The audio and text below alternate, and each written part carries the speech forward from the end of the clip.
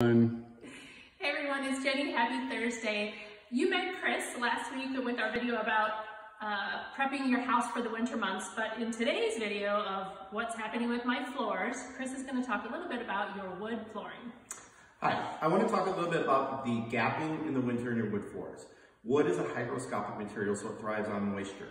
In the winter, moisture is pulled out of the wood. The way to combat that is with your humidifiers in the house, setting those to the relative humidity based on the outside temperature. So what you'll see is your floors will have some gaps start as the humidity gets pulled out of your house. And if you see below here, I have a card and you can kind of see this gap here. Zoom in. Come on.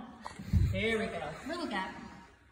So the darker floor that you have, you're gonna see the gaps because you're not gonna have that dark stain on the edging, where if you have a lighter floor, you might not notice them as well.